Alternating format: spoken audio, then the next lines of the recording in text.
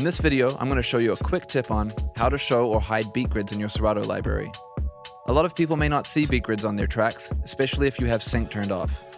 If you want to see beat grids, you'll need Simple Sync and the Snap to Beat Grid option on in the DJ Preferences Sync section of the Setup or Cog menu. With beat grids active, you will be able to see the beats and bars on your track and edit your grids.